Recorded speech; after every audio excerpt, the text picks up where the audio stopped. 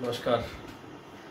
मेरा नाम सुबोध चौरे है और मैं आपको इस वीडियो में बताने वाला हूँ कैसे आप इकोनॉमिक्स की तैयारी कर सकते हैं एम पी मेंस और मेंस के हिसाब से। सो so बेसिकली एक इंटरेक्टिव सेशन रहेगा, बहुत शॉर्ट में, दस मिनट में आपको बताने वाला हूँ कैसे आप मेंस में अच्छे से स्कोर भी कर सकते हैं। तो पहली चीज़ है एम पी की बात करेंगे इकोनॉमिक्स का जो टॉपिक है वो 2020 में मात्र 30 नंबर का दिया हुआ है, जिसमें Indian economy world economy concept of economy है। और 30 नंबर का एमपी इकोनॉमी जिसके अंदर एमपी का कोऑपरेटिव सेक्टर इंडस्ट्रियल सेक्टर और एग्रीकल्चर सेक्टर और डेवलपमेंटल और रिसोर्सेज वगैरह सारी चीज़ें दी हुई है, ये तीस नंबर का है।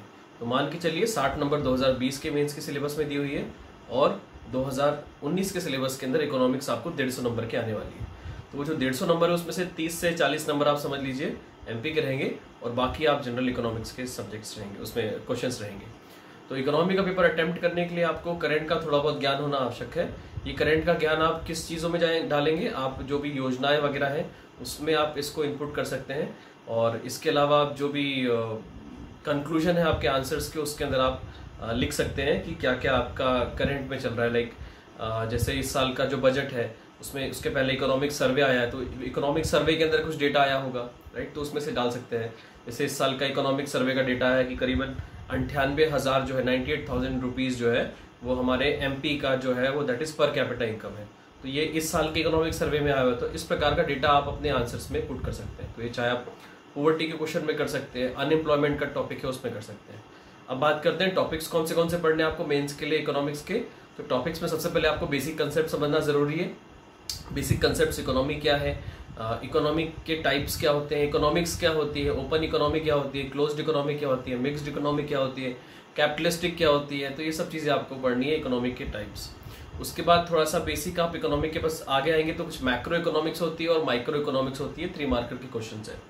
थोड़ा सा आप आगे बढ़ेंगे तो आपको ये देखना है कि बैंकिंग में क्या क्या चीज़ें हुई हैं नाइनटी वन के पहले आप डिवाइड कर लीजिए इकोनॉमिक्स को, नाइनटीन नाइनटी वन के बाद कर लीजिए बिकॉज़ उन्नीस सौ इक्यानवे में एलपीजी रिफॉर्म्स जो आए थे, उसके बाद थोड़ी चीज़ें चेंज हुई है।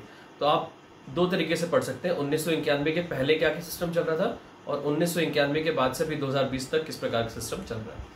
तो एक बैंकिंग ले लेते हैं। तो बैंकिंग में आपको देखना रहेगा कि इंडिया में बैंकिंग की हिस्ट्री क्या है। उसके बाद जैसे बैंक ऑफ़ औध बैंक चालू हुआ था, जो पंजाब नेशनल बैंक के रूप में पहला बैंक इंडिया का बना। उसके बाद इंपीरियल बैंक है जो एसबीआई के रूप में बना तो आरबीआई कैसे फॉर्म हुआ था? फिर बैंकिंग का नेशनलाइजेशन दो बार हुआ है, कब कब हुआ था? बैंकिंग के कौन से इंटरनेशनल नॉर्म्स चल रहे हैं?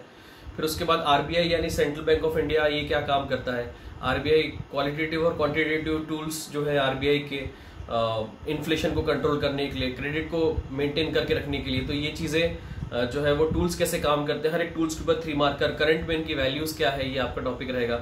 उसके बाद बैंकिंग में आप इन्फ्लेशन पढ़िएगा इन्फ्लेशन के कैसे इन्फ्लेशन होता है राइट पुल फैक्टर और पुश फैक्टर क्या होते हैं इन्फ्लेशन के, उसका डिफरेंट टाइप्स ऑफ़ इन्फ्लेशन ये आपको पढ़ना रहेगा। इसका कर्व से आपको देखना पड़ेगा फिलिप्स कर्व आप पढ़ सकते हैं। तो ये आपका बैंकिंग वाला टॉपिक हो जाएगा। बैंकिंग के अंदर अभी रिसेंट टाइम में भी क्या क्या चीज़ें आई है, जैसे कि डीमोनेटाइजेशन क्या होता है राइट कौन से लेवल की बैंकिंग अभी चल रही है एनबीएफसी क्या होते हैं राइट डिफरेंट सेक्टर के लिए कौन से कौन से बैंक क्या होते हैं नबार्ड के ऊपर क्वेश्चन आ सकता है। तो ऐसे बहुत सारे क्वेश्चन है जो ऑफ़ कोर्स आपको मैं फर्दर वीडियोस में बता दूँगा। नेक्स्ट चीज़ जो दूसरी आपको पढ़नी है इसके अंदर इकोनॉमिक्स के अंदर अगला आते हैं हम लोग। तो banking is a part of financial market system जिसके अंदर एक होता है capital market formation so capital और मनी मार्केट तो money market is like banking and capital market में आपका जो शेयर मार्केट और जितना भी प्रकार का कैपिटल फॉर्मेशन आप देखते हैं, वो सारा उसके अंदर आ जाता है। तो हमें देखना है कि शेयर क्या होता है डिवेंचर्स क्या होते हैं इक्विटी क्या होती है राइट शेयर मार्केट कैसे काम करता है और इसके बाद हमें देखना है कि सेंसेक्स क्या होता है। बी एस का फॉर्मेशन ये बेसिक क्वेश्चन है, जो लूसेंट वगैरह में दिए हुए सब आपको पढ़ने हैं। फिर उसके बाद क्रेडिट रेटिंग एजेंसी क्या होती है तो पूरा आपका फाइनेंशियल मार्केट हो जाएगा। उसके बाद सरकार जो है, उसमें जो फाइनेंस मिनिस्ट्री है और हमारा जो आरबीआई दोनों अलग अलग काम करते हैं। तो आरबीआई हमारी मॉनिटरी पॉलिसी बनाती है और जो हमारी फाइनेंशियल पॉलिसी जो है that is being made by finance ministry तो फाइनेंस मिनिस्ट्री की क्या पॉलिसी होती है और आरबीआई की क्या पॉलिसी होती है? इनमें डिफरेंस क्या होता है? इनके पीछे विवाद क्या चलता रहता है? ये आपको बेसिक पता होना चाहिए, हो जाएगा। बहुत बड़ी चीज़ नहीं इसके बाद आप थोड़ा सा इंडस्ट्री में पढ़िए। इंडस्ट्री क्या होता है? तो पहले जब आप इकोनॉमी पढ़ रहे थे तो आप देखा था इकोनॉमी के अंदर बेसिक तीन सेक्टर्स होते हैं प्राइमरी सेकेंडरी और टर्शरी प्राइमरी सेकेंडरी और टर्शरी होता है। और ये जो सेक्टर्स होते हैं, इसके अलावा क्वार्टनरी भी होता है। तो ये सेक्टर्स बेसिकली तीन जो होते हैं, आपका एग्रीकल्चर हो गया प्राइमरी फिर उसके बाद मैन्युफैक्चरिंग और इंडस्ट्रीज़ हो गया दैट इज़ सेकेंडरी और तीसरा जो आपका सर्विस इंडस्ट्री हो गया। तो ये तीन सेक्टर्स कैसे काम करते हैं, आपको देखना रहेगा।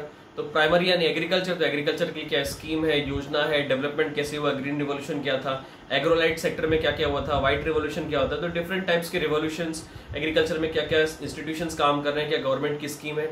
सेम इंडस्ट्रीज़ मैन्युफैक्चरिंग सेक्टर में कौन से कौन से मैन्युफैक्चरिंग सेक्टर है, इसके लिए कौन से इंस्टीट्यूशन है, क्या स्कीम्स है, सारी चीज़ें पॉलिसी क्या है, ये आपको देखना रहेगा। फिर सर्विस सेक्टर में किस प्रकार का काम हो रहा है, फिर उसके बाद इंडस्ट्री की बात करेंगे तो फिर हमारा एमएसएमई सेक्टर कैसे काम करता है, ये आपको देखना रहेगा। तो लाइक ये आपका टोटल इन टोटल इकोनॉमिक्स है। इसके अलावा आपका जो है, वो है आपको 1991 की जो हमारी एलपीजी पॉलिसी थी, उसके सारे पैरामीटर्स आपको देखने हैं। ये आपको हो जाएगा। फिर एक टॉपिक दिया आपके इसमें डेवलपमेंटल एक्सपीरियंस ऑफ़ इंडिया तो ये क्या है कि इंडिया ने अभी तक, जो 2020 तक अलग अलग फेजेस में किस प्रकार का डेवलपमेंट किया है, हर एक क्षेत्र के अंदर, उसको आप डिवाइड कर सकते हैं। आज़ादी के पहले 1947 के पहले 1947 के बाद से 1991 तक और उन्नीस सौ इक्यानवे से लेके 2000 के बीच में ये आपका टॉपिक हो जाएगा। फिर कॉपरेटिव मूवमेंट आपके सब्जेक्ट में दिया हुआ है तो कॉपरेटिव मूवमेंट जो सिस्टम है कॉपरेटिव मूवमेंट जो चलता है, वो एमपी में आपको मेजरली पढ़ना है इंडिया में पढ़ना है तो आपको पता होना चाहिए इज़ कॉपरेटिव राइट उसके बाद नेक्स्ट कॉपरेटिव के टाइप्स क्या होते हैं? कौन से कौन से एक्ट आए हुए हैं? कॉपरेटिव मूवमेंट इंडिया में क्या चला है? एमपी में क्या चला है? इसके फ़ायदे, नुकसान क्या है? तो आप पढ़ लेंगे तो सात चीज़ जैसे एग्ज़ाम्पल ले लीजिए। अमूल जो कॉपरेटिव सेक्टर में काम कर रहा है, ये ले लीजिए तो ये इस प्रकार से आपको पढ़ना रहेगा। फिर बैंकिंग में भी कुछ टर्म्स में भूल के आपको बताया जैसे रीजनल रूरल बैंक होता है गवर्नमेंट की कुछ स्कीम है, जैसे लीड बैंक स्कीम है बैंक बोर्ड ब्यूरो ये सब की क्या चीज़ें होती है? ये क्वेश्चन आपको आ सकते हैं इकोनॉमी के अंदर। उसके बाद इकोनॉमी में आपको एक फ़ूड सिक्योरिटी वाला क्वेश्चन आएगा पीडीएस सिस्टम वाले क्वेश्चन आएँगे तो ये आप आराम से कर सकते हैं कि पीडीएस सिस्टम कैसे काम करता है। जैम ट्रिनिटी क्या होती है? फ़ूड सिक्योरिटी क्या होती है? फ़ूड सिक्योरिटी के लिए क्या प्रोविज़न है गवर्नमेंट के? तो ये सारे सेक्टर्स आप चीज़ों को पढ़ेंगे तो लगभग लगभग आपका इकोनॉमिक्स का पेपर हो जाएगा। ठीक, कुछ चीज़ें मिस आउट हो जाएगी तो मैं नेक्स्ट वीडियो बता दूँगा। ये सिर्फ़ एक जनरल वीडियो मैंने रिकॉर्ड किया था। चेक करने के लिए कि वीडियो बनता कैसे? Thank you so much